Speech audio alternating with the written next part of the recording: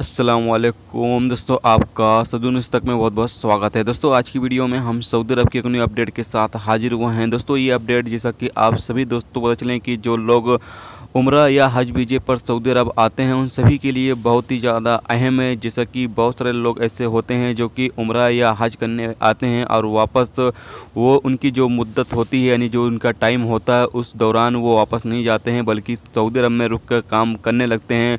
तो उन सभी लोगों के लिए ये अपडेट जो है, वो बहुत ही ज़्यादा अहम होने वाली है। तो अगर आप सऊदी अरब के अंदर रहते हैं, सऊदी अरब के हालात से बाखबर रहना चाहते हैं तो इस वीडियो को आप शुरू से लेकर आखिर तक ज़रूर देखें। दोस्तों, वीडियो पसंद आए तो लाइक और शेयर ज़रूर करें।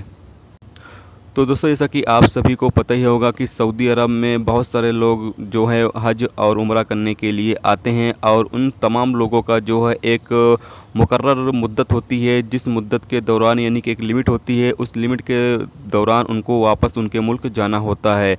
लेकिन ऐसे में बहुत सारे लोग ऐसे भी होते हैं जो किसी हादसे का शिकार हो जाते हैं जिसकी वजह से वो मुकर्र मुद्दत पर वापस नहीं जा पाते हैं। तो इसके लिए उन्हें जवाजात ऑफ़िस या जो वीज़ा ऑफ़िस होते हैं, वहाँ पर जाकर किस वजह से वो वापस नहीं जा पाए, उसकी वजह उनको बतानी होती है। लेकिन बहुत सारे लोग ऐसे होते हैं जो काम की गरज से सऊदी अरब में रुक जाते हैं, यानी काम करने के लिए गैर कानूनी तरीके से सऊदी अरब में रुक कर काम करने लगते हैं और बाद में जब उन्हें गिरफ़्तार करके उनके मुल्क भेजा जाता है तो उन पर 10 साल के लिए पाबंदी आयद कर दी जाती है। जैसा कि आप सभी को पता ही है कि जो लोग सऊदी में उम्र हज करने के लिए आते हैं, जब वो मुकर मुद्दत के दौरान अपने मुल्क नहीं जाते हैं तो वो फिर गैर कानूनी हो जाते हैं और ऐसे अफराद के लिए सख्त सज़ा जो है वो मुकर की गई है। सऊदी अरब में भी सज़ा और जुर्माने के बाद फिर उन्होंने जब सऊदी अरब से डिपोर्ट किया जाएगा तो उन पर 10 साल की पाबंदी आयद कर दी जाती है। 10 साल तक वो किसी भी तरह का वीजे पर सऊदी अरब ही नहीं, बल्कि कोई भी गल्फ़ कंट्री जो है, वो नहीं जा सकते हैं। तो याद रहे दोस्तों कि अगर आप लोग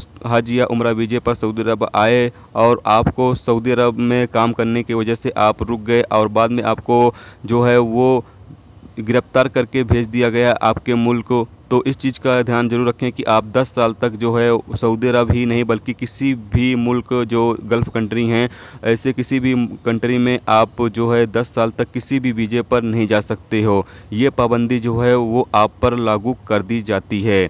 तो ये एक अपडेट थी जो सोचा आप दोस्तों के साथ शेयर किया जाए, क्योंकि जो लोग उम्र हज पर आते हैं, वो इस चीज़ का ख्याल ज़रूर रखें कि वो जो उनका मुकर मुद्दत है, जो उनकी टाइमिंग है, यानी जिस टाइम उनको वापस जाना है, वो टाइम वो वापस चले जाएँ, नहीं तो उनको बहुत ही ज़्यादा प्रॉब्लम का जो है वो सामना करना पड़ेगा। तो यही एक अपडेट थी दोस्तों, जो सोचा आप दोस्तों के साथ शेयर किया जाए। तो उम्मीद करता हूँ ये वीडियो आपको पसंद आई हो पसंद आई है तो लाइक और शेयर ज़रूर करें। चैनल पर नए हो तो चैनल को सब्सक्राइब करके साथ में बिल के आइकन को ज़रूर प्रेस कर दें, जिससे जब भी मैं कोई न्यू वीडियो डालूँ, उसका नोटिफिकेशन आप दोस्तों को मिलता रहे। चलिए दोस्तों, फिर मिलते हैं नेक्स्ट वीडियो नेक्स्ट टॉपिक के साथ। जब तक रखिए अपना ख्याल होकर खुदा हाफिज़।